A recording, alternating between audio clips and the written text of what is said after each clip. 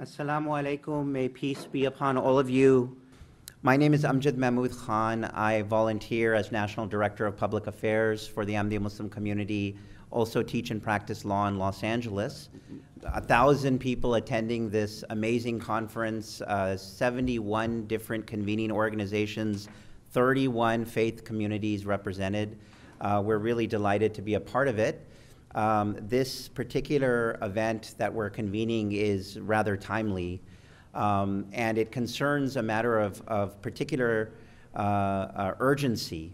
And uh, the timing of this, uh, we feel, couldn't be better in terms of uh, shining a spotlight on Pakistan's blasphemy laws and their uh, reach in the digital space.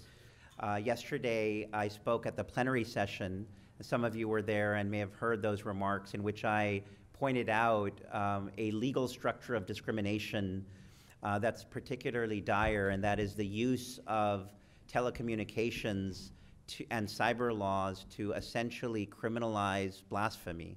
And what I mean by that particularly is uh, there are new regulations in Pakistan pursuant to uh, revisions to the Prevention of Electronic Crimes Act uh, that permit Pakistan's equivalent of the FCC, the Pakistan Telecommunication Authority, to uh, bring notice against foreign operators of websites that they deem to be blasphemous uh, of Islam.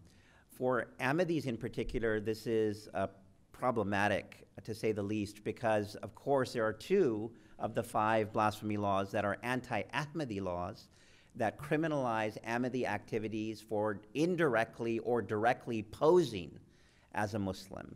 And so the mere fact of any act of an Ahmadi is uh, an arrestable offense domestically, of course, in Pakistan. And you know, since 1984, there have been thousands of prosecutions of Ahmadis. There are uh, many Ahmadis who are languishing in prison, 11 particular prisoners of conscience now. And these blasphemy laws have been used in a variety of ways to cause a lot of, of true uh, persecution that the community faces in Pakistan for the estimated over 1 million Ahmadis there.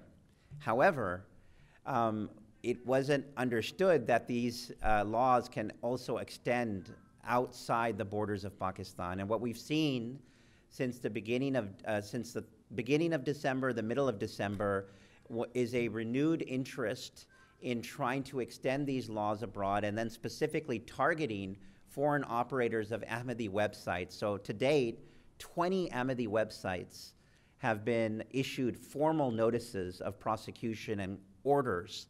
Uh, the, the first one was one that I know very well because I received it myself.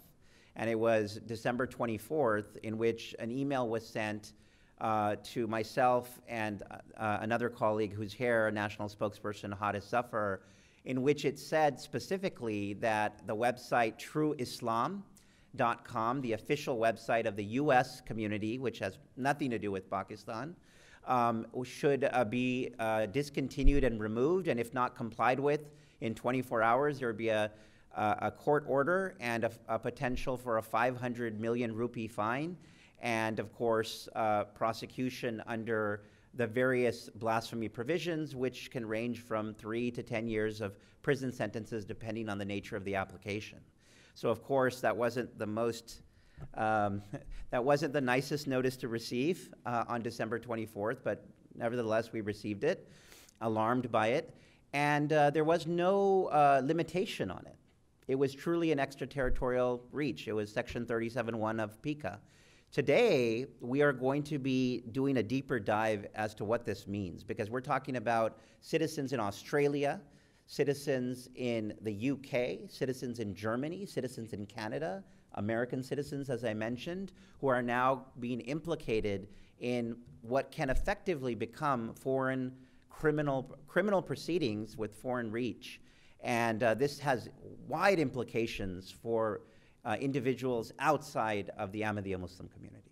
This is, of course, uh, very concerning to the Christian community, who are the subject of blasphemy prosecutions, to the Sunni community and the Shia community, who are the subject of blasphemy prosecutions. And so all U.S. citizens should wonder about the extraterritoriality of this particular law and what is the, where is this headed? So with that, uh, we have an amazing uh, panel uh, that we'll hear from and a few speeches. So I'll begin with um, uh, the, the current chair of the U.S. Commission on International Religious Freedom, Nadine Maenza. Uh, Nadine has been an amazing advocate for religious freedom, an expert, really, for two decades. Uh, she has been working formally in this position uh, for a few years. Um, she was reappointed uh, last year by the White House to a second two year term, and now she's the chair of the commission. Um, she has done tremendous work representing USCIRF in delegations all over the world, particularly in Egypt, Saudi Arabia, Myanmar, Bahrain, Indonesia, Iraq, and there's a whole host of countries. I don't know when she's even here. She's advocating so much. On a personal note, I follow her Twitter account, and she's an amazingly um, passionate and effective advocate for so many communities, particularly the Yazidi community, which I've taken note of.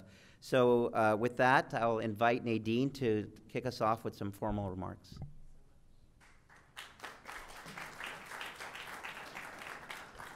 Thank you so much. That was um, very kind. And, um, and thank you, too, for the invitation um, to be here today. I'm honored just to be here, um, but also saddened that I need to be here to talk about the worsening conditions for Ahmadiyya Muslims in Pakistan.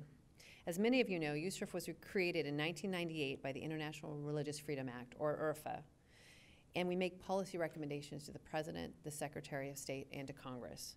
We're a little different um, than most government agencies um, in that we're independent and we're um, single fo focused on religious freedom. So we don't take into account bilateral relationships with a country. We speak only to specific religious freedom conditions. We cover about 30 countries that violate religious freedom around the world. Our annual report um, is an important part of our work, and we um, make recommendations to the State Department for countries of particular concern, or CPC, and, all, the, and also special watch list countries. And we're looking at those CPCs in particular this, that, that meet the definition of systematic, ongoing, egregious violations of religious freedom. The key findings we use to make that decision um, comes from um, the insights we've gained from our travel, from our hearings, from fact finding trips, um, research, meeting with government officials, meeting with groups such as yours, um, and um, religious leaders. Um, this year, USCIRF has recommended in its 2021 annual report that the State Department again designate Pakistan as a country of particular concern. Some of the key concerns that led to this recommendation include Pakistan's blasphemy and anti Ahmadiyya laws that are used in conjunction with new media laws to persecute religious minorities, particularly the already vulnerable Ahmadiyya Muslim community. We are increasingly concerned about the Pakistan Telecommunication Authority enforcement of these laws against religious minorities, which we know directly impact people in your community, including here in the United States. The Ahmadiyya community in Pakistan continues to face constant and severe official and societal persecution for their beliefs and self identification as Muslims. In 2020, the community witnessed a surge in targeted killings, hate crimes, hate speech, desecration of houses of worship, and grave, graves as well, and restrictions on the practice of their faith both in private and online. In our 2021 annual report, we made several recommendations on how the U.S. government and Congress can work to promote religious freedom and assist with the protection of religious minorities in Pakistan. First, we recommend that members of Congress advocate for the release of blasphemy prisoners, such as Ramzan Bibi and other individuals imprisoned for their religion or belief. We also urge the administration to work with the Pakistani government to encourage substantial steps to address religious freedom violations, including the repeal of blasphemy and anti Ahmadiyya laws. Until a repeal is accomplished, the United States should encourage Pakistan to enact reforms to make, to make blasphemy bailable, requiring evidence by accusers, in, ensure proper investigation by senior police officials, allow authorities to dismiss unfounded accusations, and enforce existing penal code articles criminalizing perjury and false accusations. USCIRF also recommends, recognizes that disinformation and hate speech is often used to further persecute the Ahmadiyya Muslim community in Pakistan.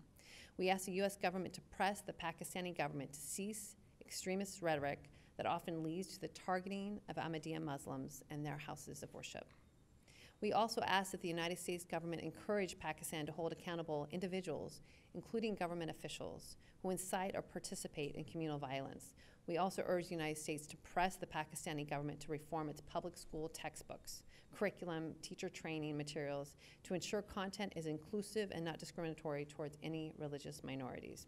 You can rest assured that USCIRF will continue to unflinchingly raise concerns impacting your community in Pakistan and do whatever we can to press the government to take action.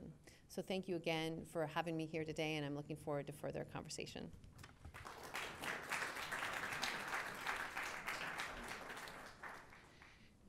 Thank you, Nadine, and thank you for, thank the commission for um, their annual report, which we read and which is used by advocates, and we appreciate your ongoing examination of these issues.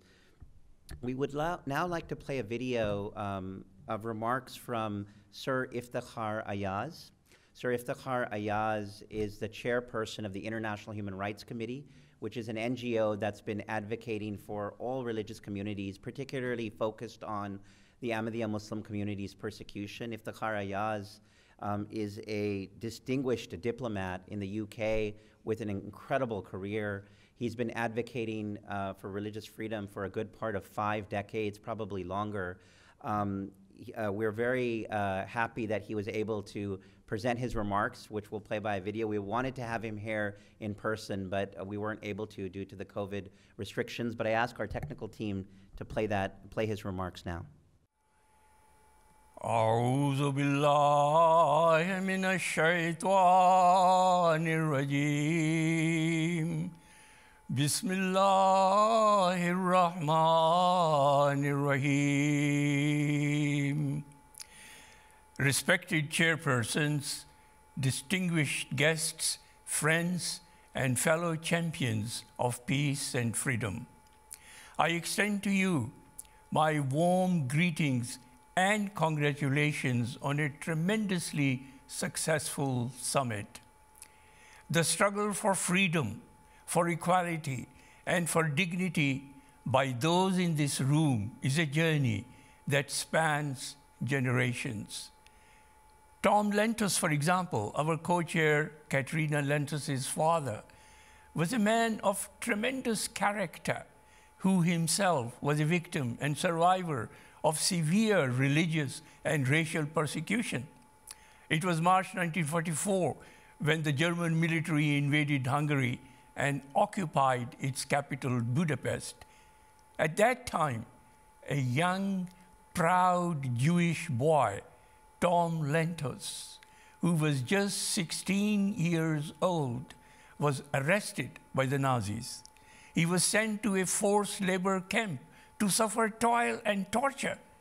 He escaped, finding safety in a safe house set up by a wonderful and determined Swedish diplomat whose name was Raoul Wallenberg.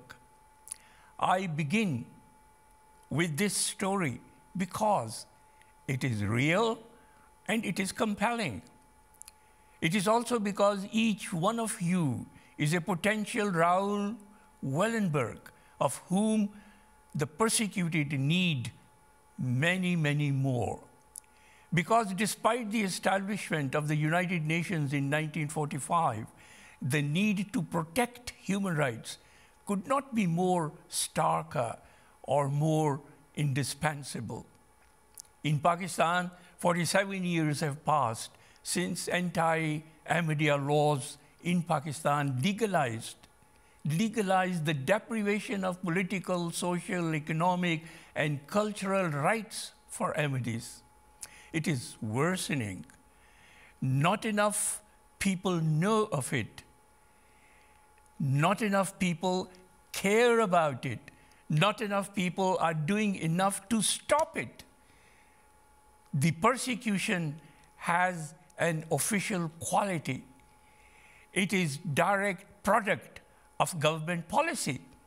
The Pakistan government is unable or unwilling to protect Ahmadis from persecution. Indeed, it denies it. In its 2017 national report submitted to the United Nations Human Rights Council as part of the Universal Periodic Review, the Pakistan government did not make even a single mention of the persecution faced by Ahmadis.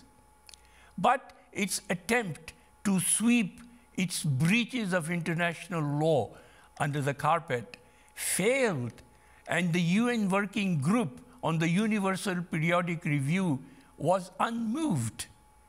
Instead, the working group specified a number of actions which the Pakistani government were asked to implement to rectify the persecution faced by Ahmadis. Not a single one of those recommendations, not a single one of those recommendations has been implemented as regards Ahmadis. 271 Ahmadis have been murdered in Pakistan because of their faith.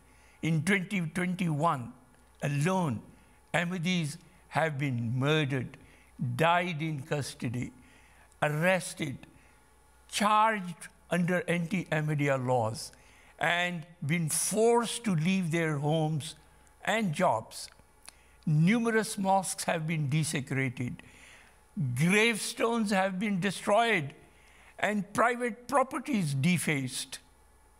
And now a new wave of persecution has begun.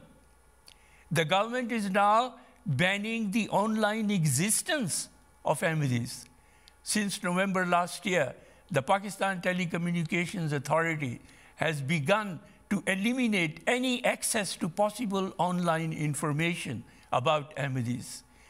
It has issued notices to non Pakistani organizations and people in the United States of America, United Kingdom, Australia, and Canada. Notices specifically reference blasphemy and anti Ahmadiyya laws, even though they do not apply outside of Pakistan. 20 non Pakistani websites hosted and managed in the West, including those with images of historical Ahmadi figures and humanitarian work, are banned. In contrast, no action is taken in relation to extremist material encouraging the murder of families. In one online post, Ali Muhammad Khan, Pakistan's Minister of State for Parliamentary Affairs, tweeted, There is only one punishment for blasphemy. He tweeted, There is only one punishment for blasphemy beheading. Seven days later, on national television, he said, We are willing to die to safeguard the honor of the Holy Prophet. Qadianis are a very big rebellion against Islam. No action was taken against him. No action is taken against others who call for hate and violence against Ahmadis. The official judgments of the Pakistan Telecommunications Authority claim extraterritorial jurisdiction. Their judgments make clear that the Pakistan government sees any right to religious freedom for Ahmadis, no matter how small, as blasphemy and a contravention of both the law and constitution of Pakistan. Now, if Pakistan regards anything happening anywhere in the world as coming within the jurisdiction of Pakistan, the PTA says that it has extraterritorial power. How wrong they are. They affect Western companies, amities, and even refugees. The 1951 Refugees Convention and its 1967 protocol guarantee refugees protection, a core principle in that a refugee should not be returned to country where they face serious threats to their life or freedom. This is now being eroded by the Pakistani authorities. Ahmadis who fled persecution in Pakistan due to a serious threat of harm because of anti Ahmadiyya laws and who have been granted international protection in the USA, Canada, Australia, or the United Kingdom are now once again being targeted by the long tentacles of the Pakistani government. Those very individuals are now, according to the Pakistani government's regulatory body, subject to Pakistan's perceived extraterritorial jurisdiction. If previous notices are to be believed, they may even face fines of up to 500 million rupees. This is a direct assault on the established principles of international law. The international community must never stand quietly as the Pakistan state seeks to impose its laws on those who are outside its borders or who have been granted international protection in the, in the world. We must reject such attempts. We must not accede to it, and we must resist it. The international legal system of human rights must function, and it was intended to function, and it should function as it was intended to function. We must encourage the United Nations and other international bodies to speak with a loud and determined voice against such breaches of international law, holding Pakistan to account for its long standing failure to stop its abuses. For what is leadership? What is leadership if that leadership is not available at a time of crisis? The crisis is here. The crisis is here. Decades of persecution by the Pakistan authorities against Ahmadis and others necessitates a change in direction. Standing up for what is right is not a new world order, neither is it an imposition of our own will. It is about the rule of law and universal freedoms. It is about ensuring that the law of the jungle does not govern the conduct of nations. It is about the protection of the innocent and the freedom which every man, woman, child must be entitled to enjoy no matter what their religion or faith. May God bless each and every one of us and give us the strength the courage and determination to challenge every affront to mankind and to secure peace and freedom for the persecuted. Thank you.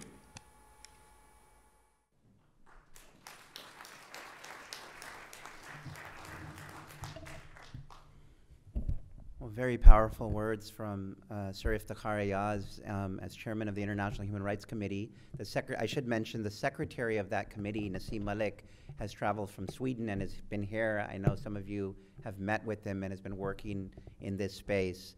It's now my privilege to uh, introduce Mahmoud Ahmed. Uh, Mahmoud Ahmed is a member of the Ahmadiyya Muslim community. He's on the uh, national board of the Ahmadiyya Muslim Lawyers Association and he will be conducting uh, the panel of experts that we have assembled here. So, Mahmoud. Good afternoon, ladies and gentlemen. Bismillahir Rahmanir Rahim. Um, as Amjad mentioned, the impetus for this event is to create awareness, facilitate dialogue, and inspire advocacy around these recent unprecedented actions by Pakistan's Telecommunications Authority, the PTA, to silence and prosecute U.S. citizens and other non-Pakistanis who are engaging in purported violations of Pakistan's notorious blasphemy and anti-Ahmadi laws. And to that end, we've assembled an all-star panel, which I will now ask to come up to the stage, and we'll be privileged to introduce in just a moment. Um, before I do so, I want to take a moment to set the stage for this discussion. Um, in November of 2020, the Pakistani government finalized its removal and blocking of unlawful online content rules 2020. That's a mouthful, but that's what they're called, um, which sought to codify the PTA's authority to regulate content that the government deems unlawful.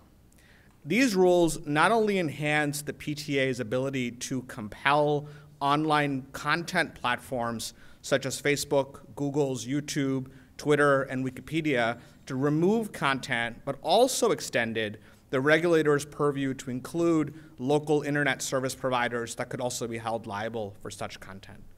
Then in mid December, an army of trolls suddenly began uploading hundreds, if not thousands, of videos to YouTube and other platforms instructing um, other users to alter Google search results related to the Ahmadiyya Muslim community. This may have seemed like an isolated effort, were it not for the fact that a few weeks later, in late December, the PTA suddenly stepped into the arena and publicly used its newly granted authority for the first time to demand the removal of so called sacrilegious content. The PTA cited unspecified public complaints against an unauthentic version, in their words, of the Quran uploaded by the Ahmadiyya Muslim community onto the Google Play Store, and information that portrayed Mirza Masroor Ahmad, His Holiness, the supreme leader of the Ahmadiyya Muslim community, as a Muslim on Wikipedia, which the PTA characterized as, quote, misleading, wrong, deceptive, and deceitful. As Amjad mentioned, on that same day, the PTA issued a legal notice to two Ahmadi US citizens who are both sitting here in the audience, requiring them to remove their website, trueislam.com, or face fines, sanctions, and potential prison sentences. It's important to know that the True Islam website is a website designed and operated by Americans, directed at an American audience. And yet, the PTA took it upon itself to reach out and try to take it down and threaten anyone involved with dire criminal consequences. Over the course of the past seven months, the PTA has issued additional notices, as Amjad mentioned, to other websites containing Ahmadi Muslim content and companies that help to host that content on the World Wide Web. And if the PTA notices were not bad enough on their own, the Pakistani courts, far from exercising any moderating influence, have decided to pour gasoline on this fire. A senior judge of the Punjab High Court summoned senior officials from the PTA, along with the FIA, which is Pakistan's premier law enforcement agency, and the Pakistani Attorney General to a hearing. And at this hearing, the judge demanded to know why these assembled agencies were not doing more to bring criminal charges against overseas individuals and entities who were deemed to be in violation of Pakistan's blasphemy and anti-Ahmadi laws. At this point, I'll paraphrase something Amjad said yesterday during the plenary session. The response to bad laws is to bring in good lawyers. And that's precisely what we did in this instance. And it's uh, my honor to introduce now uh, the lawyer and the legal team whom TrueIslam.com returned the service, retained the services of to assist with defending against these notices. Uh, Brett Williamson from O'Melveny and Myers joins us uh, by remote link. Uh, he wished uh, he could be here with us in person, but he had a conflicting commitment, so we were able to make it work through this wonderful new virtual world that we are able to take advantage of. Um, and um, Brett is a partner in O'Melveny and Myers, New York and Newport Beach offices. He is one of the firm's most seasoned litigators with over 30 years of experience handling IP and technology litigation. Um, he has also maintained a robust pro bono practice for more than three decades um, and currently serves as O'Melveny's firm-wide partner in charge of pro bono and community legal services. And at this point, I will turn it over to Brett so that he can provide you with a bit more context and color for his team's advocacy. Brett, hopefully you can see and hear us. I, I can, and, and thank you, uh, Mahmoud. Can you hear me? Yes, thank you.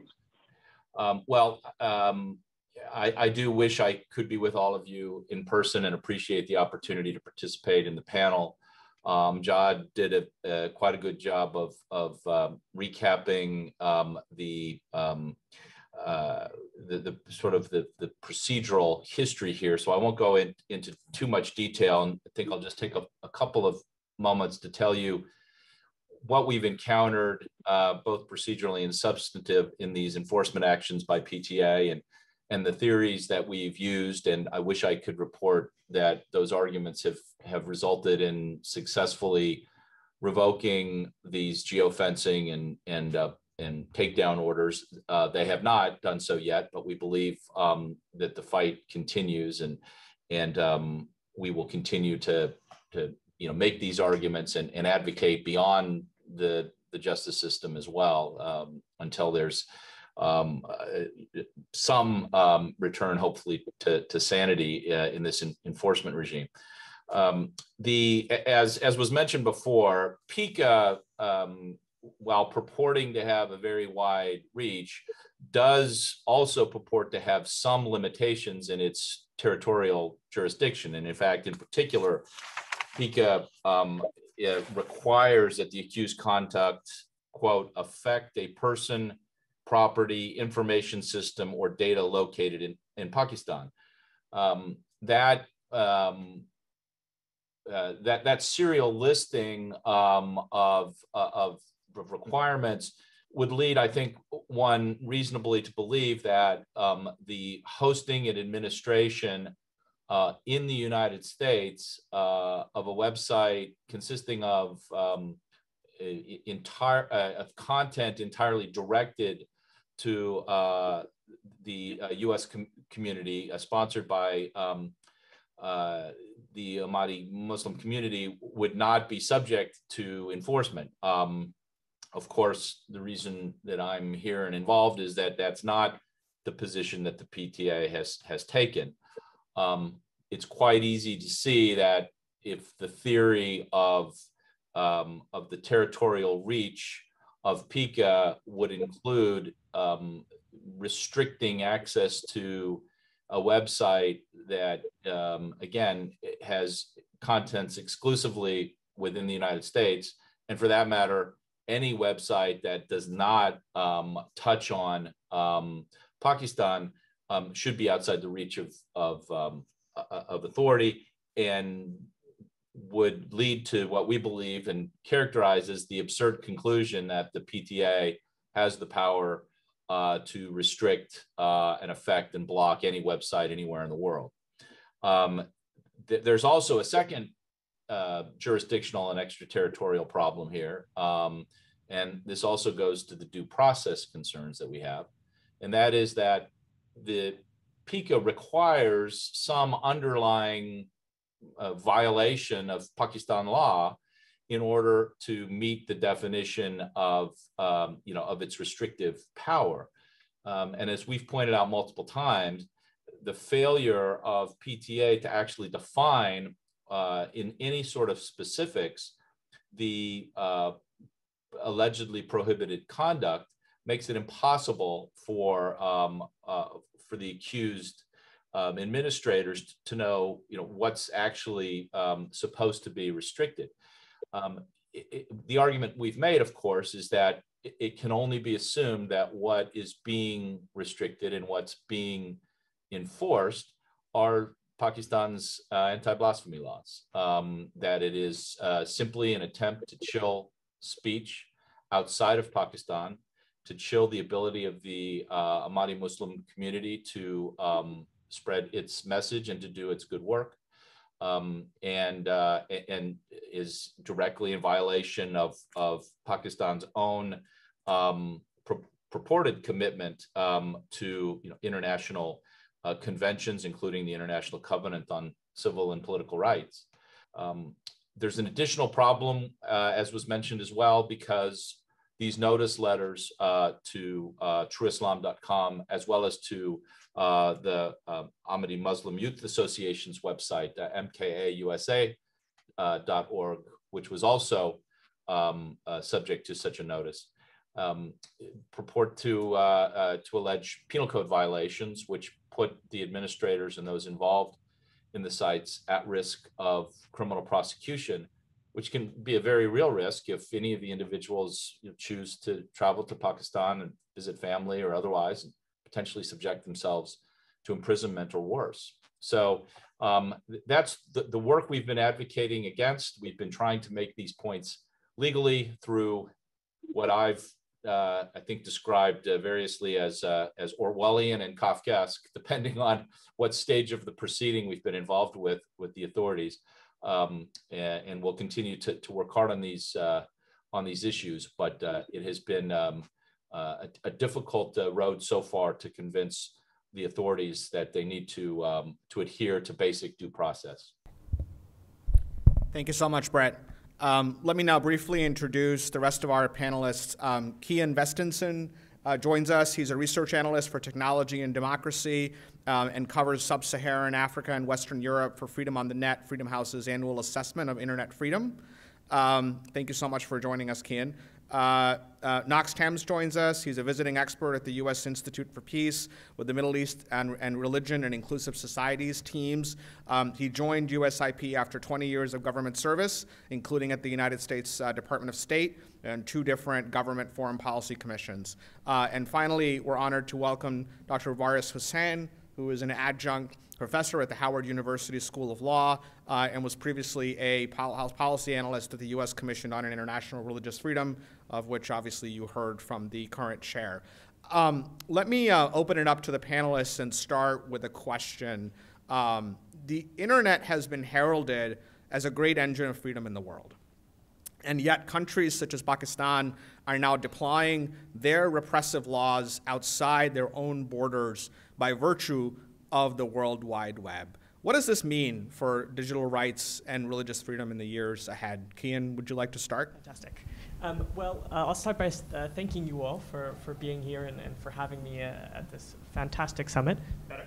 Excellent. Um, as I said, or as Mahmood introduced me, uh, I'm a researcher for Freedom House, uh, where I cover um, our Freedom on the Net report, which tracks internet freedom around the world um, and human rights online more broadly. Um, and I'll start by saying we've observed over the past 10 years a consistent decline in human rights online across the world. Um, and Pakistan is, is one such country that has uh, represented that trend specifically. Now, um, uh, we've spoken a great deal about how the PTA has uh, taken its efforts to restrict religious freedoms into the online sphere. And it's done so in an increasingly systemic way the amendments to PECA that uh, we've discussed so far um, really systematize these anti blasphemy laws uh, and the restrictions in the online sphere in a way that we don't see um, in, in many other countries around the world. Uh, if these amendments are passed, uh, and by uh, unfortunately all signs seem to point to them being passed, uh, Pakistan would be in the company of countries like China and Iran, and how systemically it would take these restrictions of, of religious minorities um, in their, their rights to express themselves and, and, their religious beliefs online.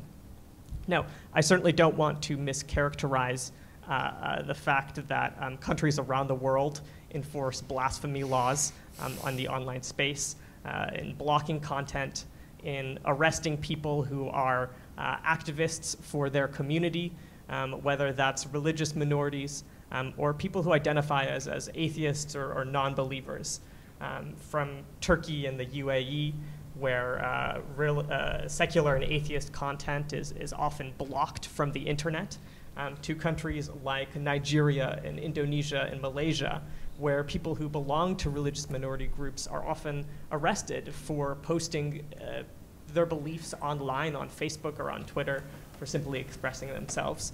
Uh, but these amendments to PECA and what we've seen with the, the transnational reach of, of these blocking orders against members of the Ahmadi community um, really puts Pakistan in new and in incredibly concerning territory when it comes to repressing religious freedom on the internet. Sure. Can you hear me? Okay, cool.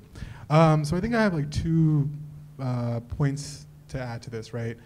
Um, let's take a second to think about this. In 2001, 2% of Pakistanis had access to the internet. In 2021, 50% of the population has access to the internet. That is a huge burst in a market. Now, there's good things and bad things with that, right? The good things are that more people have access to information, all of that's happening, and that's great. The bad thing is that social media companies, technology companies see Pakistan as an emerging market. So when the government asks them, hey, take down uh, the Ahmadi websites, then IBM might say, yeah, because we want access to that market. It's a growing market. It's huge. Look at what the, what's happened in the last 20 years. So I think what I would uh, caution is saying that, you know, uh, the speed and the proliferation of the access to internet has been good, but also has been challenging because the way in which the government can twist the arms of technology and social media companies has become much, much more advanced, right? And then the second, or yeah, the second out of third three points that I would say is that let's imagine for a second, right, that the hate against the Ahmadi community is a vehicle. It's a car, right?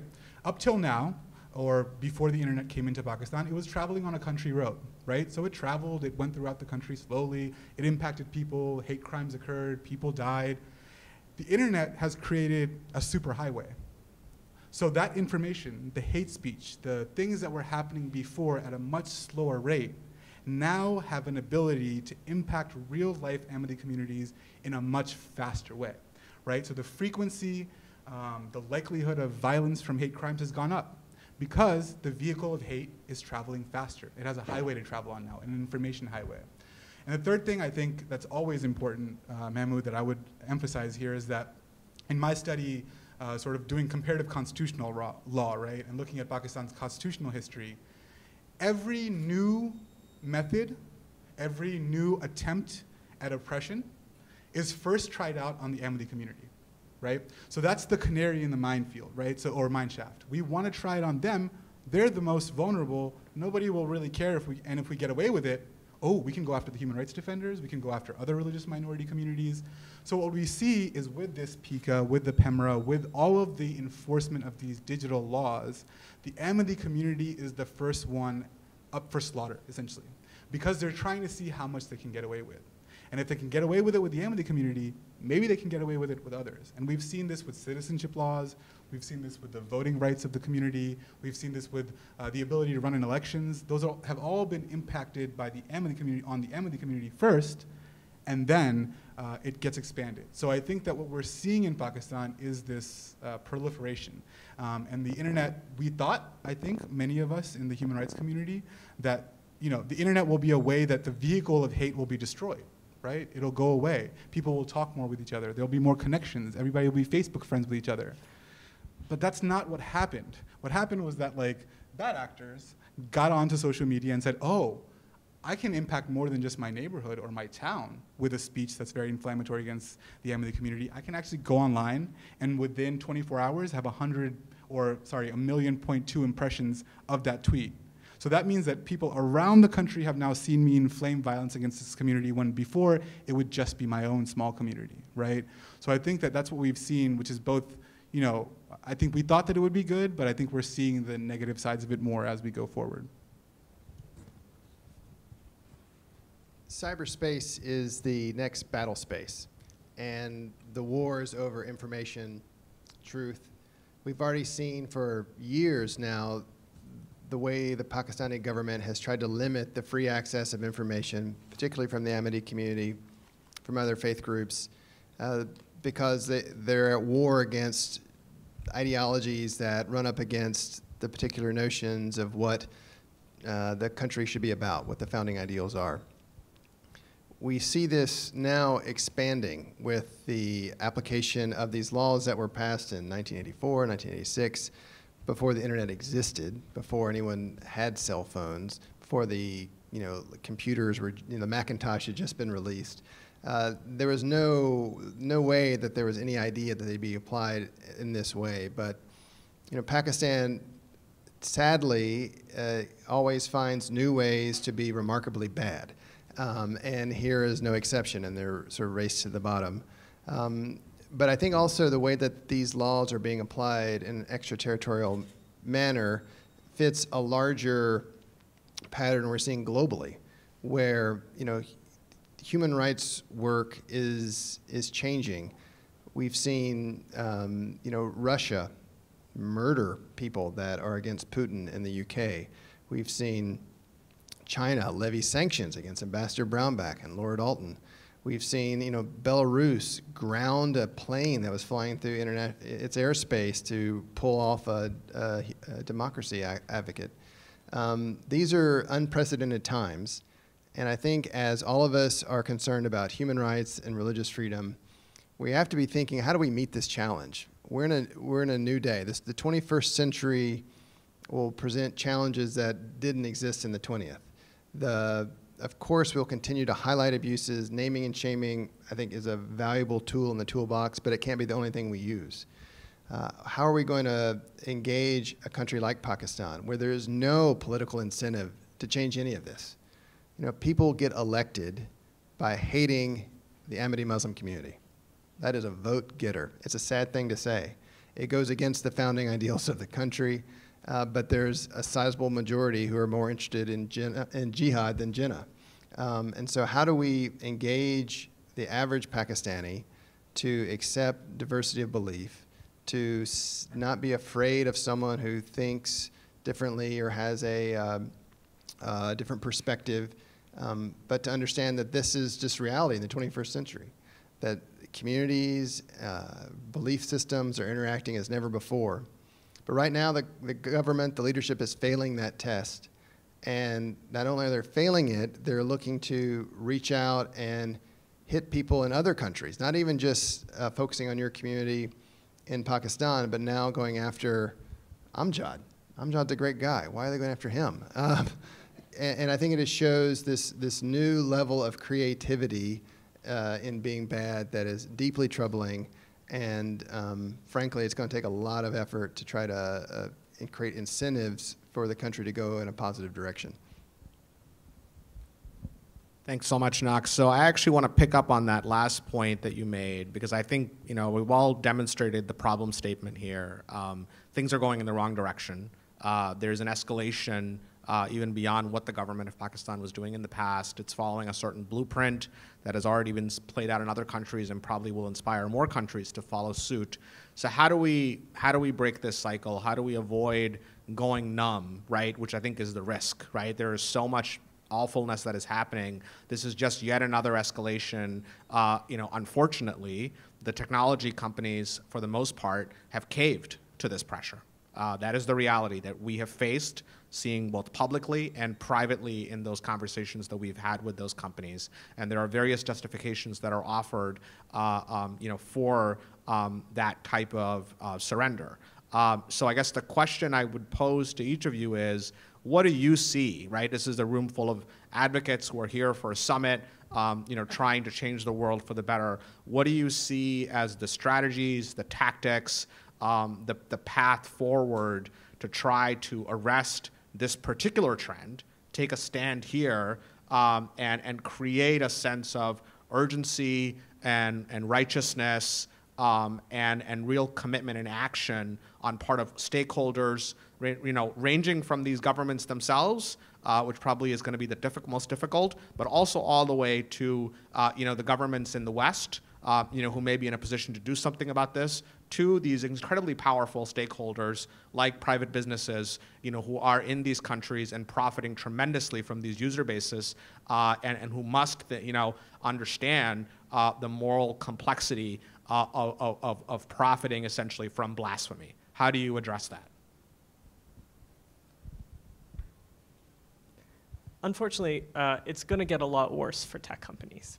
So the PECA amendments that we've been talking about include a provision that essentially requires uh, social media companies and other technology companies to become a vector for the Pakistani government to enforce its anti-blasphemy laws and other provisions of the Pakistani Penal Code. Uh, this uh, provision of the, the PECA amendments would force technology companies to respond within 24 hours to content moderation orders issued by the PTA uh, and in some emergency situations, air quotes on, respond within six hours. If the companies fail to do so, uh, they face sanction, and that sanction could involve prospectively being blocked in Pakistan. Now, social media companies are blocked in Pakistan, uh, unfortunately, all the time, right? Over the past year, we've seen um, uh, TikTok, um, Tinder, Grindr, a couple other dating apps, um, PUBG, which is a, a game that you play to, to shoot other people on the internet. All of those things have been blocked um, for briefly.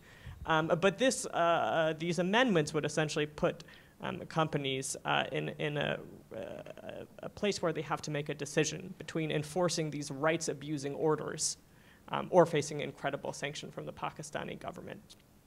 Now, um, other governments around the world are taking a similar tack. Um, India's new IT rules um, in force, I think, in, as of March of this year, excuse me, May of this year, um, take a very, very similar approach. Um, Turkey passed a law last year that uh, puts tech companies, again, in a very tough position. So I'll say that those of us in, in the, the human rights and, and technology space will continue pushing on companies to respect human rights in their content moderation. Uh, there's a couple of ways that companies can do this. Um, there's this great document that I'm sure many of you are familiar with called the UN Guiding Principles on, on Business and Human Rights that outlines how businesses, including tech companies, can put human rights at the center of their practices. And the UNGP includes specific reference to special protection for religious minorities. Um, now, when it comes to removing online content, um, you know, companies uh, should take steps to make their processes as, as transparent and understandable as, as possible for users. So that means leaving opportunities for appeal, um, notifying users when a government is ordering them to take down content. Um, all of these mechanisms can make it much better when companies do have to um, enforce uh, content restrictions that um, restrict how people are able to express themselves online um, or, or represent their religious communities online. Now, um, normally in this part of, of the talk, I would talk about ways that companies should be fighting back. Um, and so there are all of these mechanisms that um, we really encourage companies to take, like seeking uh, uh, appeal in local courts, in in-country courts, when they receive orders to take down content that um, companies are concerned would involve violations of human rights. We encourage companies to go to regulators um, and, and, seek uh, assistance from regulators in navigating this dynamic. Unfortunately, in Pakistan, uh, it seems like the options are, are, severely limited in these opportunities for, for seeking redress and seeking appeal within these local uh, uh, judicial systems and regulatory systems. Now, um, I recognize that we were hoping to, to take this into an action item stage. And so I think um, when it comes to the tech company world, it's really, really important that all of you in the religious freedom space start and, and continue to cultivate these connections with the folks within these companies who work in human rights and who are pushing internally to preserve how companies are, are respecting human rights in all of their business decisions. Um, and and uh, this doesn't just apply to the big tech platforms. Unfortunately, when we talk about restricting content, there's a whole universe of companies that we don't even know about that are active in the space. Um, in Pakistan, a company called Sandvine um, is contracted to do quote unquote internet monitoring um, we don't know what that means in the Pakistani content, but um, Sandvine was used to shut down the internet in Belarus um, when uh, uh, mass human rights and pro-democracy protests mobilized last year. And so there are other companies to be, to be targeting for these advocacy opportunities, um, and again, to bring it back to those rights respect respecting principles um, for businesses. Yeah, I think um, all of that I completely agree with. I think working as a human rights lawyer particularly trying to draw that connection right between human rights law um, and the digital space and, and all of the protections that we need. Uh, the religious freedom folks have oftentimes not been the ones that are called into the room when tech companies say, hey, we want a human rights report on a country. So they're not there. And if you're not there, you're not going to be heard, right? Um, and I think that's not necessarily because they haven't, uh, you know, that they're not great or they wouldn't be great partners for this conversation. I think it's just that they haven't made that connection, right? Uh, human rights is about human connections, right? So the more connections you have, the better off it is. I think um, Amjad and myself and, and, others in the Ahmadi uh, community who I've been working with, we did reach out and we've been trying to, and I think that's something for everyone in this room to be doing. The second point I'll say is something that Knox and I actually have oftentimes talked about. What's the incentive, right? How can we incentivize? And I'll go back to a Bloomberg uh, business story from three weeks ago that said that the information minister of Pakistan wants to increase Pakistan's technology sector twice over in the next two years by building tech cities. Right. So what you have to know is that you can't do these kinds of restrictions and create this kind of parallel universe that these companies have to follow now of your own rules, and then hope that they're going to invest billions of dollars in building campuses in your country, right? Um, I think it's not good for business, and I think the way that a lot of the companies see it right now, because they don't have a footprint on the ground, oftentimes they say, okay, whatever the regulator says, let's just do it. Like it's just the path of least resistance. That's fine. But if you want to double your industry, well, now you have a chip that we can talk about, right? We can incentivize you bringing these rules and laws in place and not becoming this parallel system that you keep trying to create. You know, in Urdu, there's a phrase, it's called uh, mita mita gup gup karva karva tu tu. So like, when it's sweet, you eat it up, right? So you have access to internet, you have more companies coming in, and you love it. It's great. And when it's bitter, right, when you have to check your population, when you have to check politicians who are saying we should use this digital platform to hate Ahmadis because it's a great way to get votes, well, then it's 2 2. I don't want that. Of course not. And unfortunately, you can't expand your market by twofold or, or provide yourself as some kind of global center for technology while having that perspective. You're going to have to amend some of your, uh, your policies that you've taken that are discriminatory um, and that just can't be accepted under UN guiding principles, under ICCPR, under various human rights instruments. So I think that's where we have a bit of an incentive to say to companies, hey, this country really wants to have you increase your footprint there. You need to press back on them now because it's not just about keeping the status quo. They're trying to double up. So if you're trying to double up, well then I have requests for you to be able to double up, right? Um, because these companies, I think, oftentimes often don't realize that these regulatory frameworks are going to impact their business eventually. It might not be right now, so they'll cave in, but they will eventually harm your ability to do business in a country when one post could literally cause a riot, and now the whole world community is looking at Facebook and saying, you allowed a post that literally had 100 people die because of it, right? And that's the kind of place Pakistan is. It's a, it's, it's a place where you know, that match can go into that gasoline and cause real damage. So for them to start thinking about this in exactly the way that Kieran was talking about is important, especially if Pakistan wants to create these tech hubs, these 2x, 10x type of uh, perspectives on technology in Pakistan. With the tech companies, I think the advocacy community needs to turn up the heat to name and shame them. That when they uh, go along with these repressive Orwellian, Kafka-esque rules, that they should be embarrassed about it. There should be a cost. Um, at the same time, in building off what Waris just ended with, a lot of these platforms are used to whip up mobs to go murder people. Um, now, I'm a free speech advocate. Freedom of expression is something I think is very important. But when there's a bright line when it comes to advocating violence, and in many cases in Pakistan, the bright line is met. Like we're not worried about uh, some limitation on speech. People are being called to go murder. Um, tech companies need to bear the responsibility for that as well. So I think there's a twofold way to engage them. And I think we as Americans here in the room need to ask our government to do more to press Pakistan on the fact that they are reaching out with their oppressive law to hit American citizens. That is outrageous. That, that is outrageous. And what is our government doing to make it crystal clear to Pakistan that that is not, not the way partners work together? That is not what you do between friends. Now, I know we're kind of frenemies and we've got this complicated relationship, but you know, we are a superpower. And if a country comes out after our citizens, there needs to be a strong response. And so, how are we motivating our members of Congress, our senators, Secretary Blinken, President Biden to make it crystal clear this has to stop. President Biden's been very outspoken with Vladimir Putin on all these uh, cyber attacks on our infrastructure. That's great. That's important. We need to have the same kind of high level response that you do not get American citizens who are acting inside the United States to share information with American citizens. That is, that is, that is just wrong, and we can't stand for that. And we need to make sure that our elected leaders hear from us so they uh, do, what's, do what's right. Thank you so much, Knox.